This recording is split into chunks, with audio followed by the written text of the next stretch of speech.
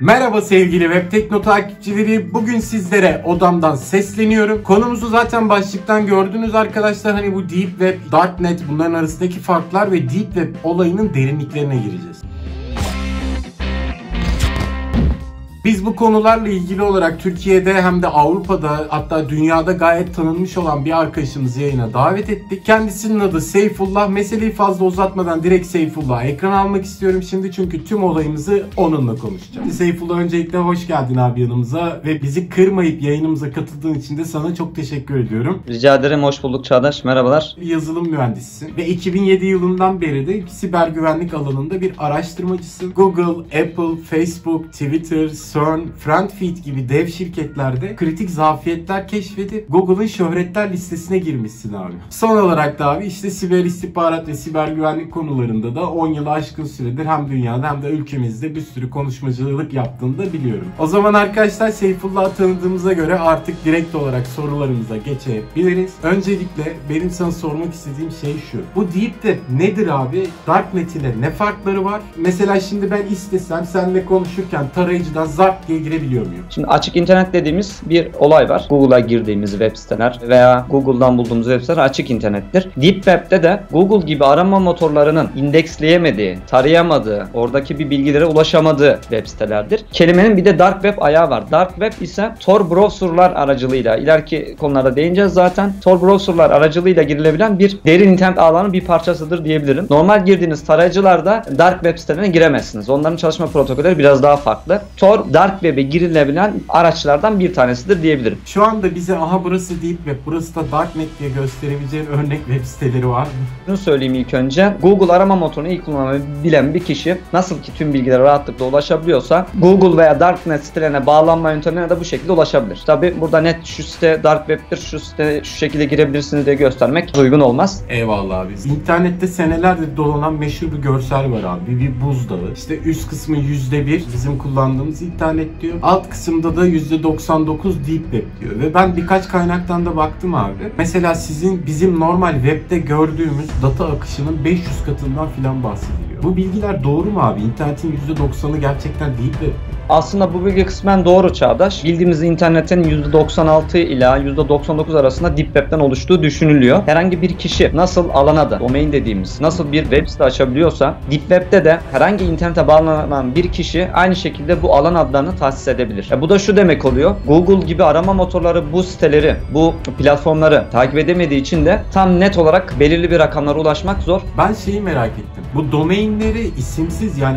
unknown olarak mı alıyorlar yoksa bir host sunucu üstünden VPN'le mi? Nasıl çalışıyor bu? Nasıl ulaşamıyorlar ki yani? No- Normalde bir alan adını tahsis etmek, bir hosting almak bir public bir süreçtir, açık bir süreçtir. Bir kredi kartı bilginiz, bir açık kimliğiniz olması lazım. Bunları tahsis eden kuruluş bu bilgileri almak zorundadır. Tabi Dark Web ve Deep Web'de böyle bir platforma sahip olmak için anonim olmak lazım. Biraz daha underground'a giriyor bu işler. Ödeme yöntemi olarak hangi para birimleri kullanılıyor buralarda? En meşhur bilinen para birimi kripto para birimi Bitcoin. Bunların ödeme sistemleri. Dediğim gibi anonim olmak önemli bu gibi sistemlere dahil olmak ve ödeme sistemini gerçekleştirmek için. Bitcoin birebir ödeme gerçekleştirir. Arada bir merkezi bir sistem, bir e, kuruluş yoktur. Yeri gelmişken de söyleyeyim yine Çağdaş. İnternette hiçbir şey anonim değildir. Mutlaka darknet marketlerde de kripto paralarıyla alışverişte bile takip mümkündür. Peki Seyfullah şimdi biraz daha Tor Browser ile ilgili bir detaylı bir soru sormak istiyorum sana abi. Tor Browser ile girilen web sitelerine Deep Web katmanlarından hangisine aittir diyebiliriz ve Tor bu iş için harbiden güvenli mi yani? Buradan çıkan birisi Tor'dan girip işte Deep Web'de alışverişini yapabilir mi abi? Böyle bir şey mümkün mü?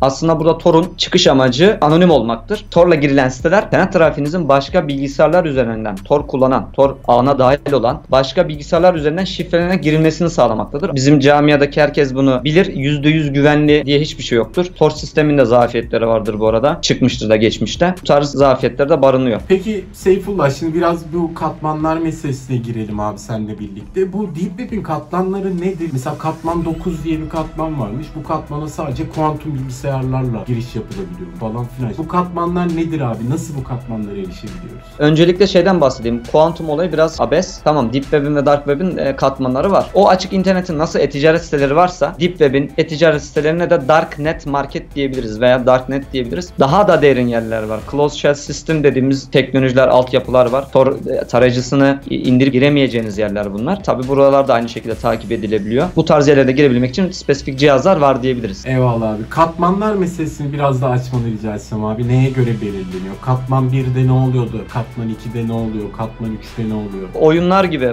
Burada da bir deneyim puanı var. Madalya sistemi var. Bilgi paylaşılması gerekli. Deneyim puanı ve işte bu tarz madalya sistemlerine ve katmanlara inebilmek için. Ama buranın bir merkezi bir yönetimi yok. Açık olmayan bir kuruluş var. Bunlar sizleri puanlandırıyor diyebiliriz. Şimdi benim internette gördüğüm bazı videolar var. Instagram hesabı çalınır diye bir ilan veriliyor. Bu ilana gidip para verip Instagram hesabı çaldırabiliyorsun. Özellikle uyuşturucu kısmında kullanılan yöntemler var. Bunlar deep web midir abi? Yoksa oltalama mıdır? Hani Deep web sayabiliriz bu tarz olaylara. Sallıyorum Instagram'da bir zafiyet veya Facebook'ta bir zafiyet bulsam amacım Deep Web Underground'da bu zafiyeti satmak olsa bir platforma üye olup bu platformda bu bilgimi satabilirim. Bunu yapan kişiler var. Ama bunların yalan söyleyemeyeceğinin kanıtını kimse bilemez. protokolle ilgili bir şey soracağım sana. E, deep web protokollerine hakim olmak gerçekten işte senin gibi yazılım mühendisi olmayı gerektirir mi yoksa meraklı birisi de bu protokolleri çözebilir mi? Yani bu insanların oluşturduğu community'de hiç iyi bir şey yok mu abi? Protokollerden başlayayım. Bu protokolleri yazabilmeniz için seviye yazılım bilgisi ve bilgisayar ağ bilgisi bilmeniz gereklidir. Ben hani yazılım mühendisiyim. 10 yıl sürdü benim okul maceram. Mühendis olmanıza şart değil. Hatta Bitcoin gibi devrim yaratan bu kripto paralar ateşleyicisi Deep Web oldu diyebiliriz. Daha hatta daha yakın zamanda Deep.web gibi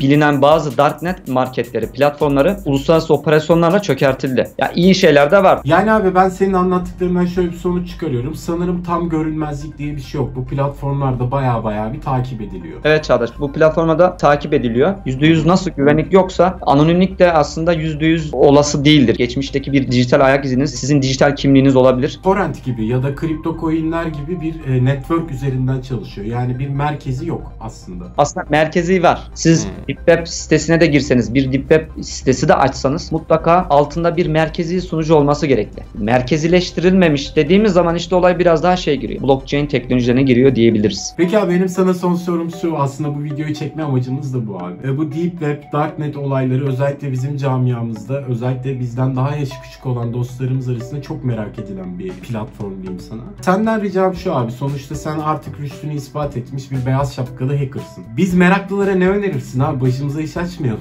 Evet, ya abi şimdi bir şey gizlemek, sak- saklamak amacını tersine vurur, tersine götürür. Gençlere benim bu teknolojileri öğrenmek, bu teknolojileri geliştirmek, bu teknolojilerin üzerine iyi şeyler yapmayı öneriyorum. Tarz kötü yerler de olacak, kötü niyetli hackerlar da olacak. Bunların yaptığı teknikleri kullanarak kendini geliştirmek için kullanmalarını önerebilirim ben. O zaman Seyfullah artık hani ben sorularımın sonuna geldim. Aslında sana böyle açık platformlarda sorabileceğimiz soruların ve senin verebileceğin cevapların da bir sınırı var abi maalesef. Ben çok teşekkür ederim abi videoya katıldığın için. Hani eğer arkadaşlar hani veya e, şirketi olan insanlar bu anlamda bir siber güvenlik desteği almak isteyen insanlar olursa Seyfullah'ların da kendi şirketi var. Linkinizi de linklerini de açıklama kısmına bıraktım. Oradan kendilerine ulaşabilirsiniz diyorum. Arkadaşlar sizler de videoyu beğendiyseniz şurada bulunan beğen butonuna basabilirsiniz. Kafanıza takılan bir şey varsa da yorumlardan soru sorabilirsiniz. O zaman görüşürüz abi seninle de. Arkadaşlar sizlerle de görüşürüz. Başka bir videoda hoşçakalın.